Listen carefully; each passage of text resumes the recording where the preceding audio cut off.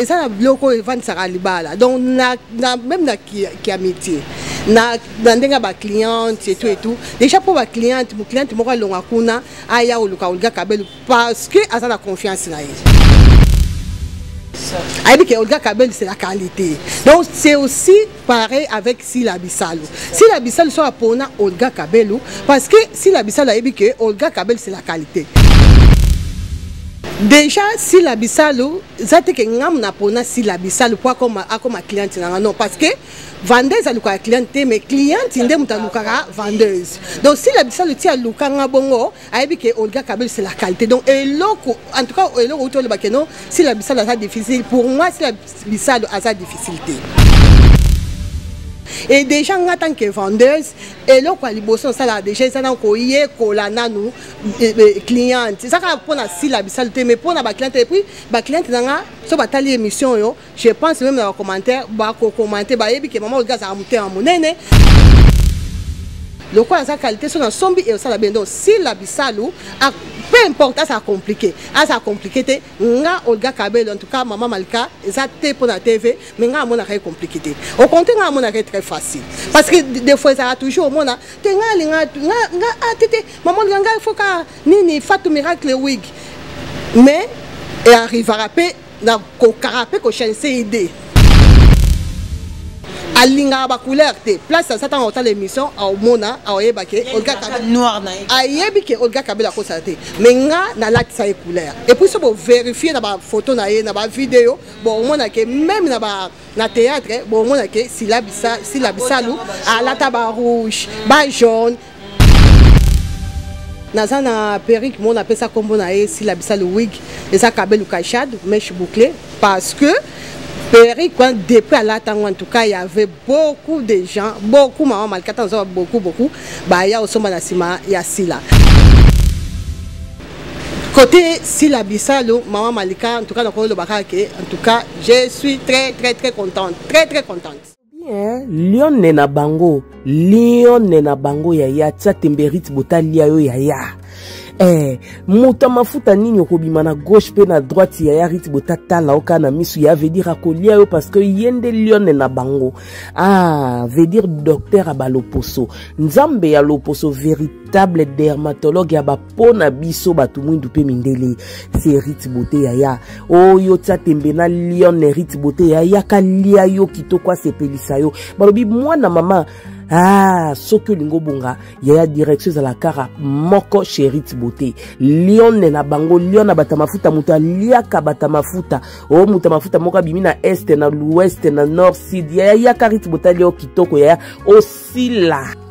osila kitoko ya bozomona bafoto ndenge atretaka bozomona ndenge azolongola batampon azolongola baacne mama yo moto oza na acne yo moto oza na bouton mama batache mama bavergetire elata oyo ya, ya, ya, ya mafuta ya monene ya kobota oa na masque de, de, de grossesse mama kobukana te ebenga rite bote na 0046 70 208 23 88 na whatsapp mama ozwi rit bote na whatsapp atekela yo baproduit ya kitoko ekobongisa mpo na yo ya yo moto ozwa tempo esala 30 a 40 ans epai ya rit bote elongwaka balobi awa mpe so obotaka to kobota baproduit ya soins intime ezali yaya oyo kosukola intimité na yo mwasi yaya ah totretaka na bana mibali na bana basi ah, ye rit bote omoni toza na vietage rit bote ye mpena nde omona mpena poso kitoko bote rit bote donc fokota wana fokota wana esa bien esika kitoko eh, vrai chéri asololaka bien yo mpena fokota na salaire rit bote nzamba lokusu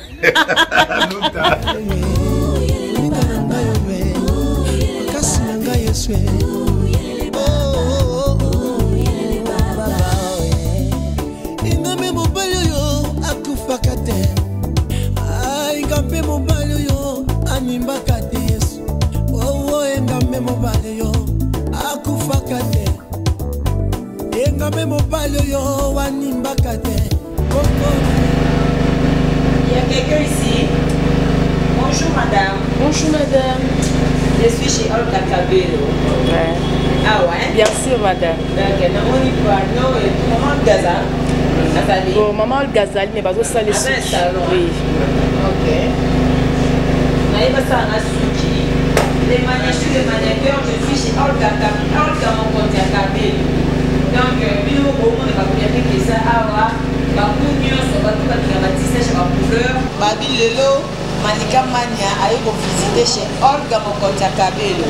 cetadire nga deja boyebi bakulu na ngai nalinga bacouleur botala ngai nde naye botala ngai nde na obima naza awa chez olga mokonzi ya kabelo baperike eza awa ya kitoko ba perruque ba couleur tomoni ba marque nyonso ya milai mpe eza ya milai mpe eza mpo toyebi ke tozwa vraiment ntan ya kovisite babiloko oyo etekamaka tous les jours to babi awa mpena lobi to kokuta ye maneke oyo oh, na perike milai lobi ntango oya okokuta ye maneke motufi basali toza awa tozovisite baperike oyo ezali osepeli na baperike oyo okomona awa okontakte madigamania toza awa sur avenue eh, Comorico, voilà, juste na arrêt Velodrome. Juste na stade à Velodrome, so okomi wana tous les kaka maison chez Olga mokonzi ya Kabelo. Donc obunga kutu te. Obunga na ote toza, tokomata mpe na salon parce que babi ah nyonso ezali.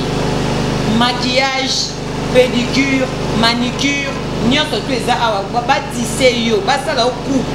awa chez Olga mokonzi ya Kabelo.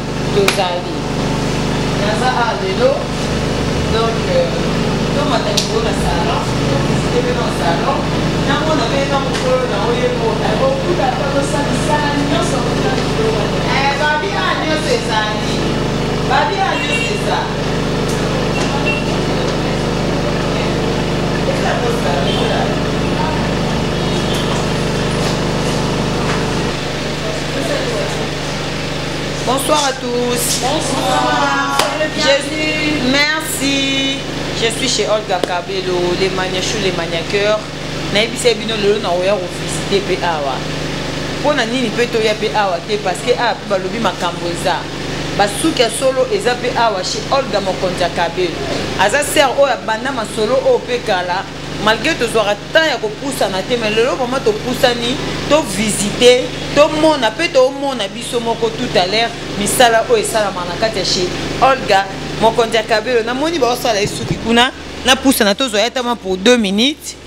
comme ça tokotika ye totala résultat suki oyo bazosala ye Maman Olga, je suis la bienvenue. Nga mo na bina la bienvenue. Mm. Bienvenue Malika Man, je t'aime beaucoup, tu sais. Hein. Mm, na sepeli omona yo, na sepeli vraiment. En tout cas, maman Olga, tu as plaisir, il y a trop, il y a koya kokuta na salon, pe euh, boutique oyo, tu sepeli vraiment na ba perruque, tu sepeli na emplacement, tu sepeli vraiment na structure, il y a oh, tu na kati ya salon oyo. Oh, nayebi ke tozwa ba minutes mingi te mpo bazosala yo suki mais soki okopermettre biso mwa quelques minutes après kosala yo suki tosolola mwa moke bafano balingaka yo oza mpe na bato balingaka yo mpenza mingi malgre oza journaliste te oza youtubeuse te mais mosala na yo esali ke ozala vraiment eh, na éclairage makasi olobi ni mpona bato baolanda biso en tout cas eza bien déjà pour moi eza bien parce que là bazomona avant hein? avant avant finition donc à tout à l'heure baomona finition donc on est là na comorico 3c na kitambo velodrome Et puis na Belgique, toza na euh, avenue de la Chasse numéro 21. Donc Malika Mania euh, outi olobeli omoko très capital. Olga Kabelo aza lokola tata naza mama ba Kabelu donc eh, naza kaka nyonso côté Kabelu hein? Donc il y a important soki oye chez Olga Kabelu en tout cas ozala jamais dessus. Voilà. Jamais. Mais na préféré tout ça tout sur après finition voilà tokosolola après finition parce que bato ebele bakoloba te tokokende kuna ndenge nini olga kabelo azalaka mingi na poto banani bakosala tozotalisa bino mosala ya bato oyo baza baresponsable en dehors ya olga kabelo bokomona finition ya, ya suki oyo après bino bo bozwa leçon aurélie sungu motema ingénieur dona mozumba lokola ntango yo oyaka ovandaka mingi koto donc c'est-à-dire désormais camarade na ngai américaine ntango akoya tobanda oyaka chez olga mokonzi ya kabelo tozozonga juste après mpo tosilisa totala no finition ya suki oyo toyeba misala ya bato basalaka chez olga mokonzi ya kabelo parce que ngai moko namonaki naza convaincu baperruque tout est nickel astructure ya maison makambo tout tomoni vraiment eza kitoko oza na besoin osala mandiaka awa na chez olga kabelo eza nyonso obongisa elongi obongisa makolo chez olga kabelo nyonso ezali tozela finition ya suki oyo tokozongela ye moko mokonzi na bango tozali ale a plus tolobaki deja ntango nayaki nabaki botala nga ndenge nakoti botala nga mpe ndenge nakobima lelo toza chez mama olga mokonzi ya kabelo nayebisaki bino deja ngai mosala ezokende petit a petit awa toza mpe na mama olga tozwaki ye deja na debut tolobaki totala finalité ya suki oyo mpo na bato ebele bawanda kosinquiete olga kabelo azalaka te azalaka na poto me banani bawanda osala biso basuki aza na batravailleur oyo baza na mosala na kati na bango bino moko bomoni mosala oyo basali na motu ya mama olga Cabelo. Maman Olga, toko zo moi quelques minutes parce que tu as vu que eh, vous êtes déjà faut que ne ba course mususu. yo moko kozwa batravailleur ya bajare oyo parce que bato ebele base plendraka surtout bato bazali libanda mboka basalaka basociété na bango na kinshasa base plendraka mingi mpo na bato oyo batika na kati ya basociété omona baclient bazodeklare mosala eza malamu te confiance nini oyo yo moko oza na ngo na batravailleur oyo baza merci mama malika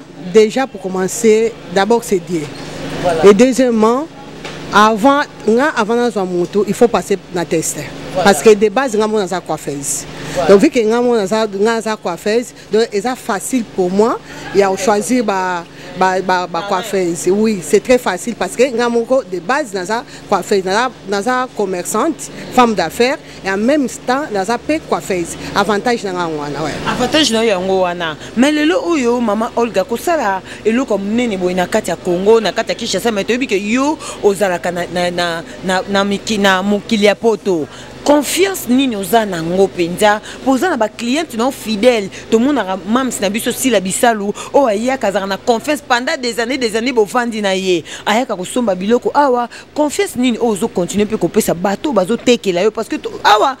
eza ebele bato bazosala manicure pédicure bacoiffeuse bato motu na moto aza na département na ye confiance wana eutela kote nini meme na bato bazoteka biloko oyo na bato bazosala bapédicure confiance wana ezoutela kote nini mama malika déjà omoni na mosala nyonso esengaka kaka confiance likambo ya confiance ozongi kaka likambo ya confiance pasaka confiance okoka kosala te en plus nyonso tomekaka kaka pourquoi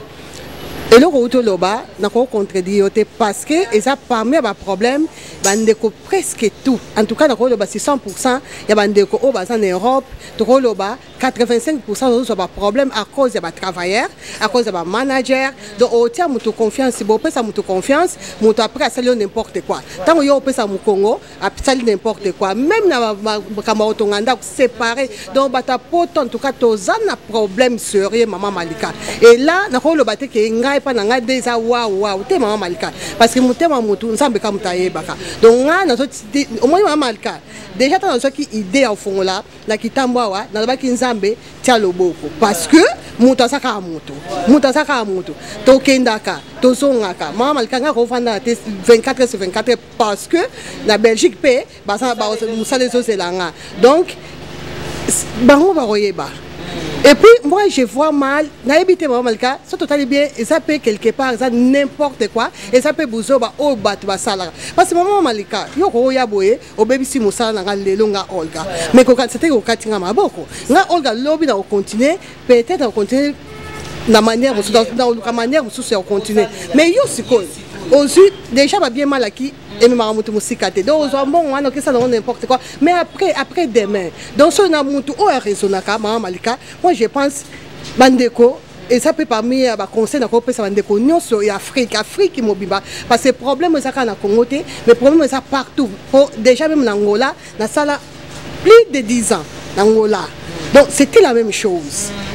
la même chose donc bandeko s'il vous plaît bomeka kozala quand même un peu euh, na motema wana donc ntango ozosala mosala zwa sala donc zwa mosala yango komisa yango lokola ya yo mm. c'est très important kokomisa yango lokola yo elakisi te ke il faut ozwa mbongo comme tu veux c'est pas ça mais soki ozolinga eloko mama malika moi soki olingi moto olingi eloko en tout cas osala tout mosala wana e avance en tout cas so olingaka mosala no en tout cas olinga te beba olinga toujours e avance olinga toujours e avance en tout cas merci beaucoup mama olga mama olga mais tomonaka yo owumeli na sila bisalu na kosomba biloko nayebi te eh, partenariat na bozalaka nango na sila mais tomonaka mpe sila babengaki azalaka balobaka mingi plus ke azalaka problématique mais kogere motu ayaka kozala cliente na yo kosombelo biloko c'est pas facile bacontradiction mpe eyaka na ndenge ki problématique okoya pe oyebisaki eloko na yo te kongo 400 mais yeta mosusu ayaki na 3 c'est botie comprehension mais jusque là tomona yo na ye bozala ata na problème te omaîtrisaka ye comment mpo bofanda pendant tout ce temps oyo aza partenaire na oyo osombelo bilo merci maman malika question malamu sb hmm, pomba scène alela fort bambote ebele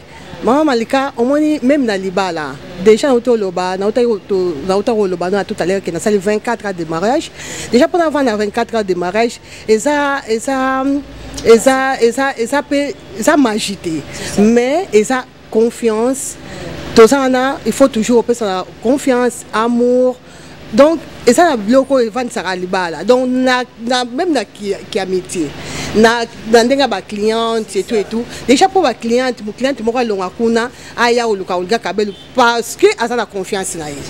ayebi ke olga kabelu c'est la qualité donc c'est aussi pareil avec Sila Bisalu. Sila Bisalu soit pona Olga Kabelu parce que Sila Bisalu a dit que Olga Kabelu c'est la qualité.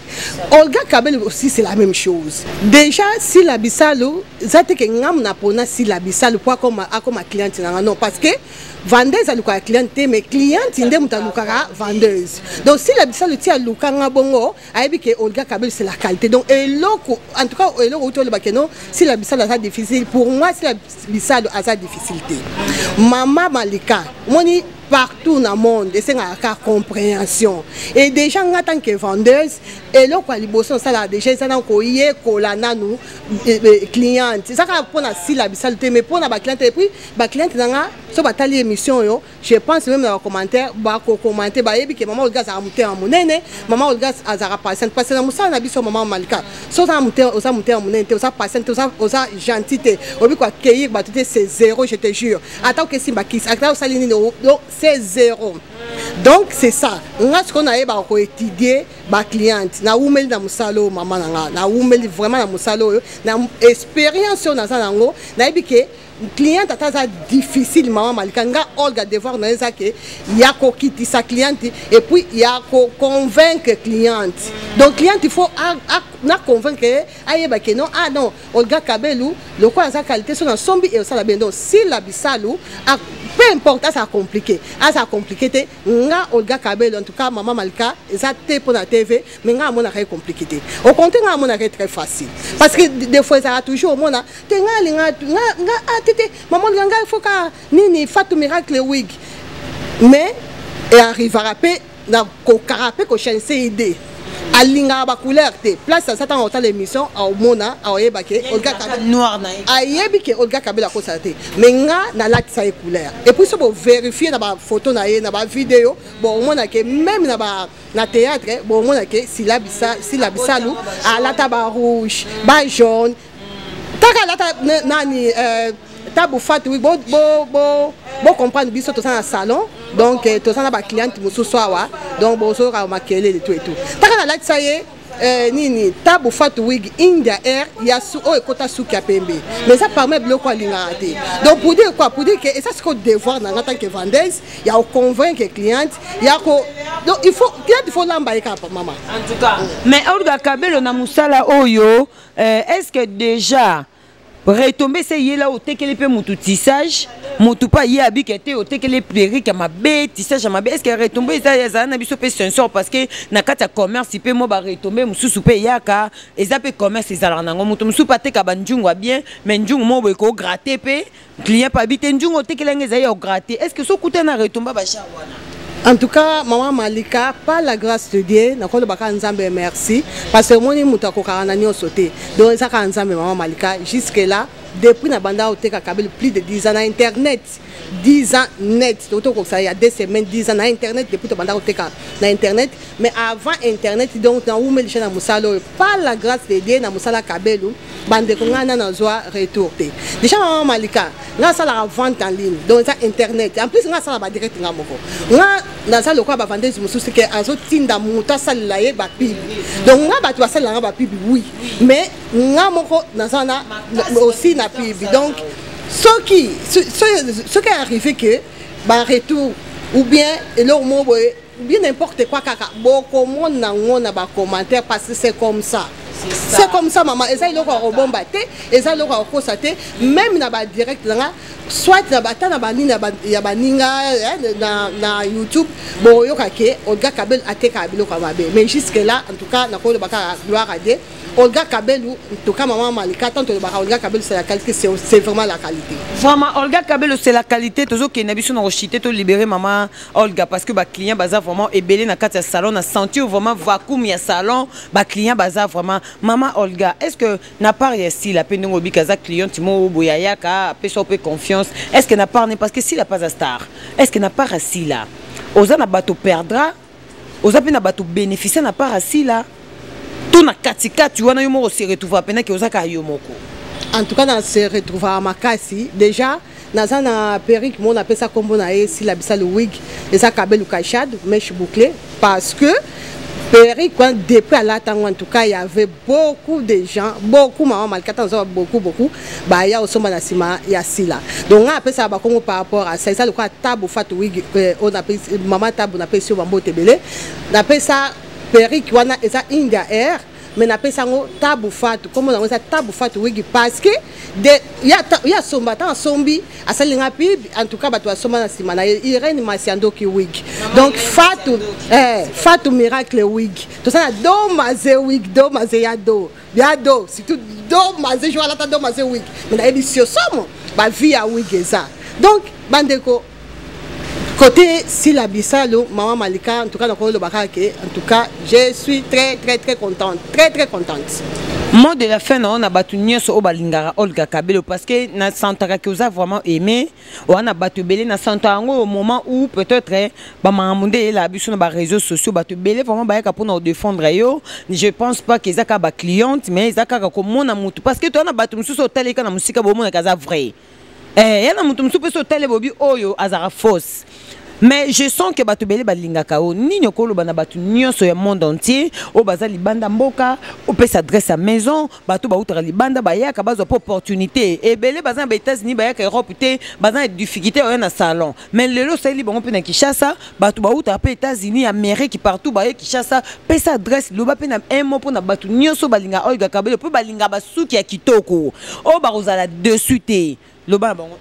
eh, limbisaka naozonga mwa moke nabosani question na yo te naozonga mwa moke kote ndeko na biso sila bisalu eh, mama malika omoni avantage mosusu ya sila bisalu nde bato bakoka komplike nono sila bisalu aza quelqu'un aza vraiment honnête na koloba parce que auto loba eloko moko aza star en tout cas aza star mboka na biso et puis nga azo confirmer yango pomba scène donc maman malika omoni bato mosusu ezala nde nini akoya boye asombi perike epa na yo vike aza star so ake kote mosusu akokosa mpe keno perike wana eza ya moto mosusu ake mpe asali pibi mpe kote mosusu mais na perike asombi epa na nga mais epa esila bisalo en tout cas plus de 5 ans aza vraiment fidèle epa na nga baperike nyonso bomona na motu na ye en tout cas eza ya olga kabel ezalaka te ke non azwaka ya perike ya soki ya wapi aye ntango tokutana boye lokola toyebani tomesana après asalela nga pibi non non non déjà nga mama malika soki olati par exemple perike ya moto mosusu na motu na yo ata foto na okanisa na yo te en tout cas eza nini na eza principe na nga to so na poste eloko na page na nga olga olga page na nga eza olga mokonzi ya kabelo 1 na suka mama, mama malika eloko mutu tun na postaka na page en tout cas elakisi ke perike wana euti na maison na nga mpo ya des gens oyo bakanisaka ke mama sila azwaka asombaka periki kote mosusu epuis aye kosalelanga kaka bapibi non nga en tout cas eloko wana jamais nakoki ko accepter yango parce que nga olga kabel eza avantage te mama mama malika nakendaka vietnam nga moko nakendaka inde nga moko donc nga komandaka biloko te mais nga nde mona voyageaka comment expliquer nga naza ya qualité makasi boye qualité number one et puis naza naza combo na bakabelu en tout cas naza marque en tout cas naza Euh, vanta oza mpena mark yo tokotya ba versas tokotya ba griffe makasi ngai nde kutu versas kutu te ngai kende naa kote ba weston weston mpo ngai mpe nalinga weston makasi naa kote ba weston mama malika sikoyo tala na qualité niveau ya qualité boye nga olga nake koaccepte mutu alata perike ya mutu mosusu mais aya kosalela nga bizi c'est impossible siko eh, eh, bolama mama sila c'est quoi azalaka honnête ata obengi ye na privé mama malika ayebi soki no suki oyo eza ya olga kabel omoni donc aza vraiment boye sila aza compliqué te mais azalaka nde boye donc omoni motu faut comprendre kaka so comprendre oyeba ke elle n'est pas difficile c'est que problématique wana mpe balobaka na bango mpo bato namonaki ayaki awa azoyemba bazelaki biso tobebana na oyo nayebi te eske mpo ye mpe azala mo bakomedi na ye aevante ka lisolo to eza mpena bamiomir ya bato balobaka eh, bakobebana eshu non c'est parce que dernier awa ah, boye awutaki poto lokola tokutanaki te ekomi ke omoni bato babosana ke olga kabel azalaka na baoccupation mm. sila bisala aussi azalaka na baoccupation mama malika mama malika yo ça fait longtemps toyebana me tokutani ka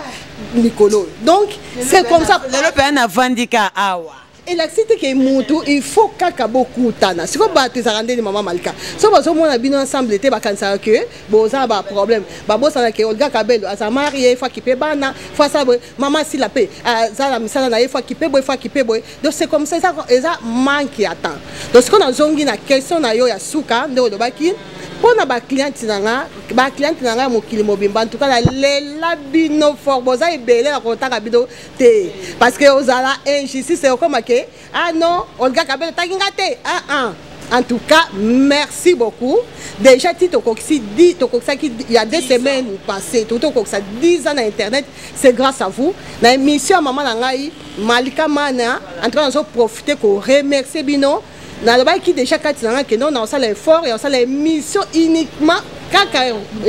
mpona koremercie bino merci merci merci au fond de mon cœur parce que sans bino mobulu d'abord nzambe et puis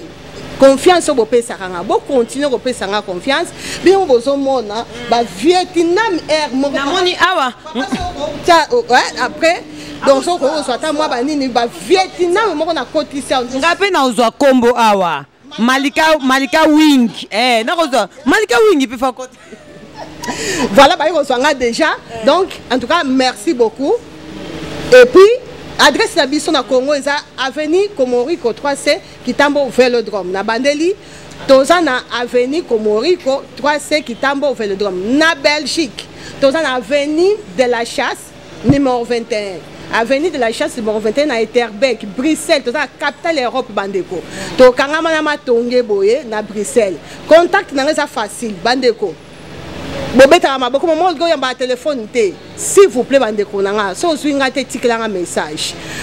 contact na ngai eza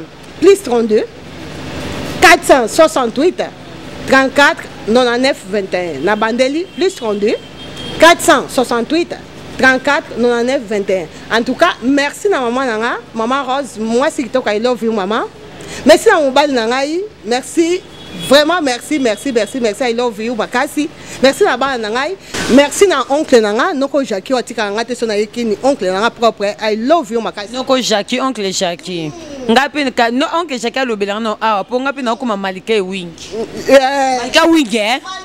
Hmm, trop tia obligé donc voilà bandeko en tout cas que dieu nous bénisse Amen. et puis merci na équipe nanga mobimba ya congo papa jc jc prof la même magique hein?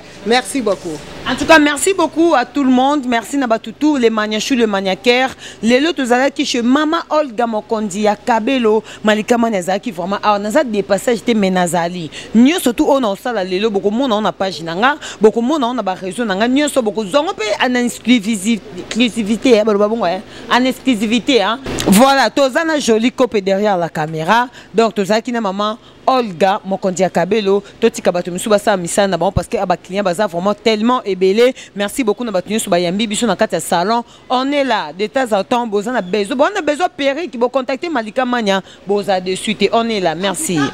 maman maman Malika pardon papa na bakisaki eloko moko oh, eh, oh, c'est bon Ouais, après osalaka na montage mama malika ndenge abakisa eloko moko ya sukasuka suka sans polémique omoi mosala théâtre totikala yango sila bisalu nayebisi eh, yo sans polémique wana ezaka kutu polémique te eza polémique te mais mosala ya suki eh. suki eh. aldo mokonzi ya kabelo totikela kwanga ya bateke mm. totikela kwanga bateke totikela suki olga mokonzi ya kabelo totikela théâtre sila bisalu totikela miziki fali pupa taking epuis masolo makambo akobeta Maman ebete le pro max Irène Masiando to tikile makambo na ye. Ya solo. Oh, hey, le goût de ça. Merci bisous allez.